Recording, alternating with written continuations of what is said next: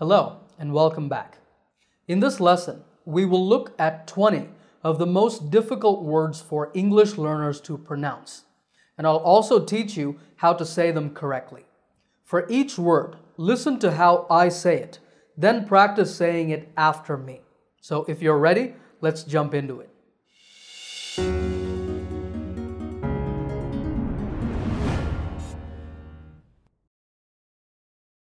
The first word is this one. How do you say it? Well, the correct pronunciation is question. The first syllable is made with a k combined with a w sound by rounding your lips. Quest. The second syllable is chin, like your chin. So this word is question. Of course, the opposite of question is answer. An, sir, answer. This is in American English. In British English, it's pronounced answer with an ah sound at the beginning. Answer. Number two is didn't. I often hear two mispronunciations of this word from my students. If you say didn't or didn't, they're both wrong.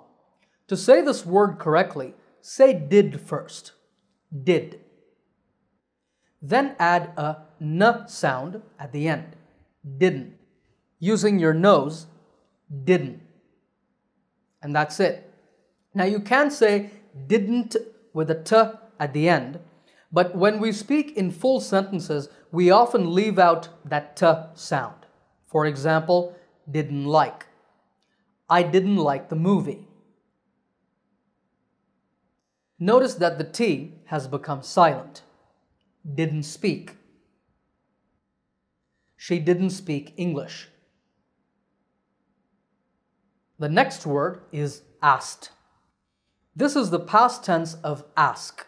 The trick to saying it correctly is to make the K silent.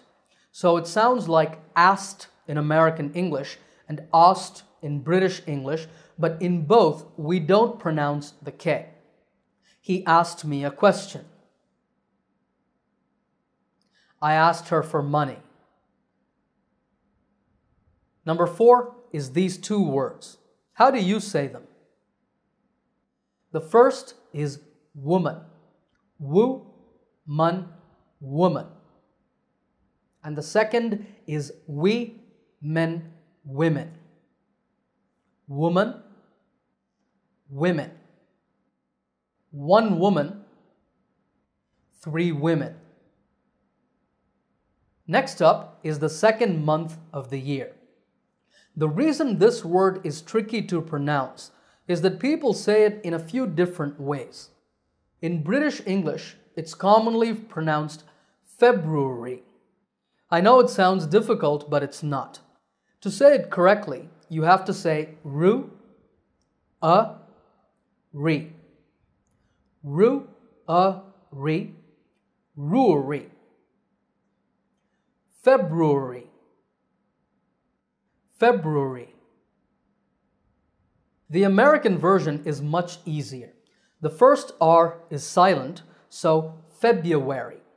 Feb, ya, where, re, February. A quick note, in the pronunciation symbols on the screen, you see the letter J, but in the International Pronunciation Alphabet, or IPA, which I'm using here, the J represents a Y sound. Okay, it's up to you to decide whether you want to use British or American pronunciation, but again, American is February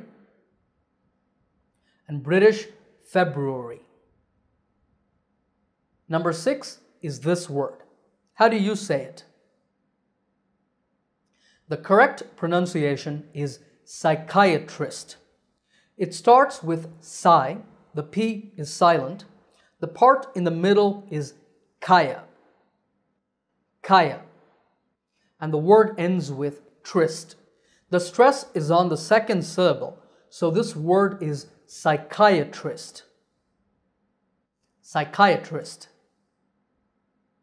Next, we have another scientific word, laboratory. That's the American pronunciation. Lab-ra-to-ry, with the stress on the first syllable, laboratory. The British version sounds quite different. Laboratory. Here, the second syllable is stressed.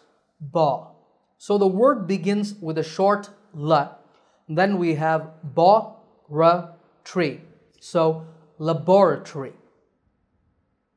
Once again, American laboratory, British laboratory. Number eight is the set of these four words. These are difficult for many English learners because each one is slightly different. The first is easy. There are three syllables, photograph. The stress is on the first syllable, pho, so photograph. The next two words are photographer and photography.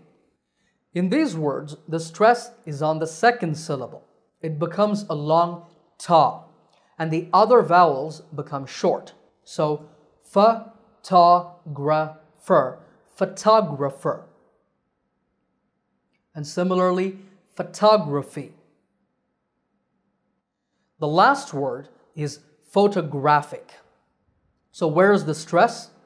The stress is on the third syllable, gra, photographic.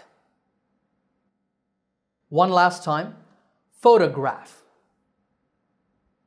photographer, photography, photographic. Number nine is another set of related words, analyze, analysis, and analytical. As we saw in photograph, photographer, etc., these words also have different stress patterns. Analyze has three syllables, a, na, lies, with the stress on the first syllable, analyze. This is a verb and it means to study something in order to understand it. The noun, the name given to the act of analyzing something, is analysis. Here we see four syllables a, na, la, sis, and the stress is on the second syllable na. Analysis. Analysis. The word analytical has five syllables analytical, and the stress is on the third li. Analytical analytical. This is an adjective. We might say that a person has an analytical mind, meaning that he or she likes to examine or study things in detail. Okay, once again, analyze, analysis, analytical. Number 10 is entrepreneur. This word refers to a person who starts his or her own business. The spelling looks scary, lots of E's and R's, but the pronunciation is actually quite easy. There are four syllables. The first is on.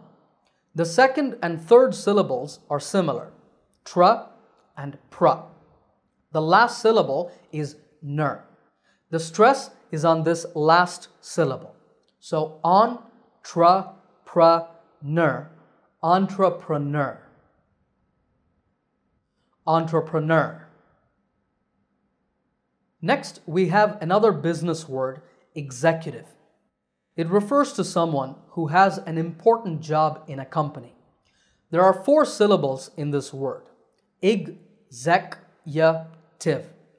Remember that the letter J represents a y sound in phonetic symbols. The stress is on the second syllable here, zek. So executive. Executive. Number 12 is a word that's again pronounced differently in American and British English. How do you say this word? In American English, this is pronounced schedule. Schedule, schedule. The sound that you see in the middle, the letter D, with what looks like the number 3, that's just the j sound. The British pronunciation is schedule. Shed, yule, schedule.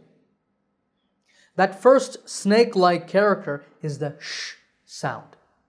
All right, so American schedule, British schedule. Number 13 is the word adjective.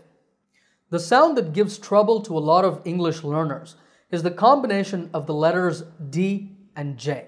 Many people struggle to say adjective. But the good news is that the letter D is actually silent here. The word is just adjective. Adjective. By the way, how do you say this part of speech? It's preposition.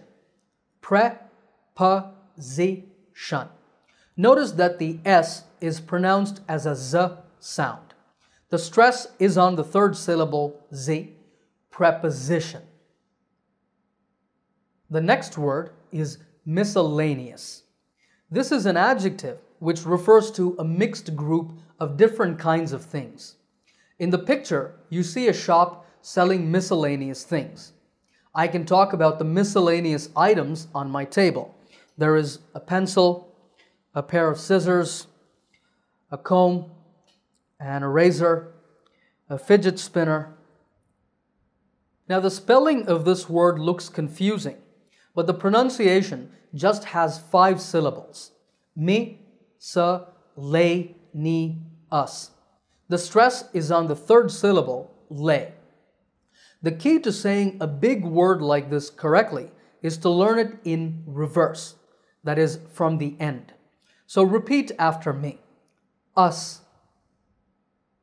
Nias. Lay. Lanius. Missa. Miscellaneous. Miscellaneous. Did you get it right? All right, next is one more five syllable word sophisticated. This is also an adjective and it means complicated, developed, or advanced. The five syllables are sa, fis, t, k, tud, and the stress is on the second, fis. Let's backchain this word, learn it in reverse. Tud, cated, fisty, fisticated, sophisticated. Sophisticated. See, it's easy. Number 16 is this word.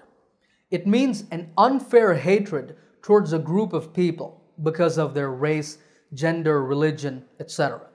The problem with this word is that it doesn't sound exactly as it is spelled. How would you say it? The correct pronunciation is prejudice. There are three syllables. The first is pre, the second is j, and the last syllable is dis. Prejudice. Prejudice.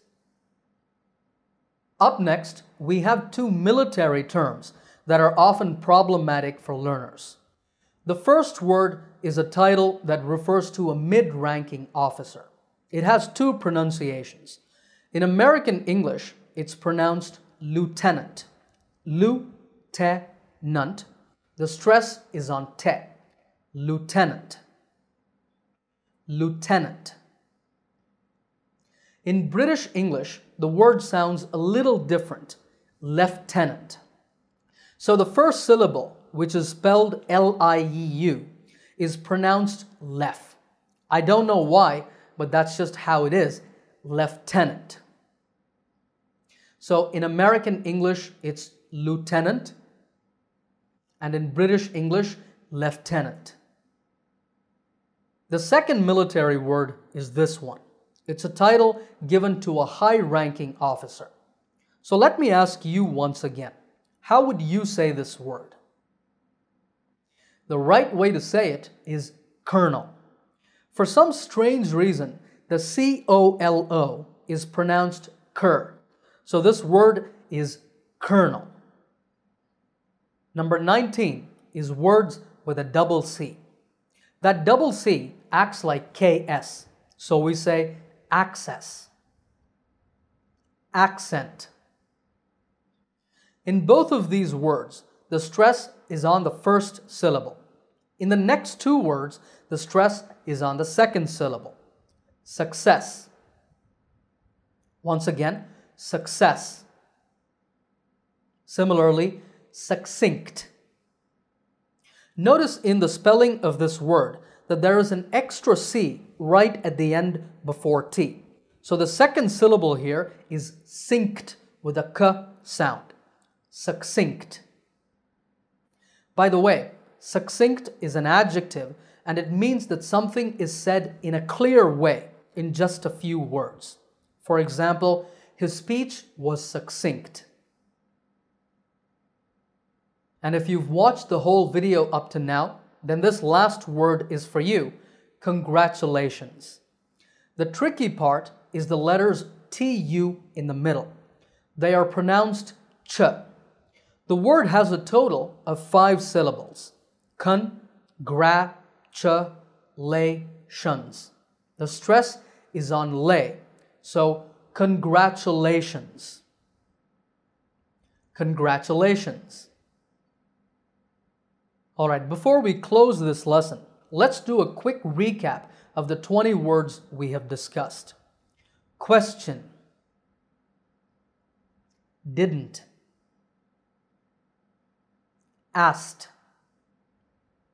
That's American. The British version is asked. Woman. Women. February. That's American. In British pronunciation, February. Psychiatrist. Laboratory. That's American. British is laboratory. Photograph. Photographer. Photography photographic, analyze, analysis, analytical, entrepreneur, executive, schedule. That's the American pronunciation. British, British is schedule. Adjective, miscellaneous, sophisticated, prejudice, lieutenant. That's American. The British pronunciation is lieutenant. Colonel, access, accent, success, succinct, congratulations. All right, I hope you enjoyed this lesson. As always, happy learning, and I will see you in another lesson soon.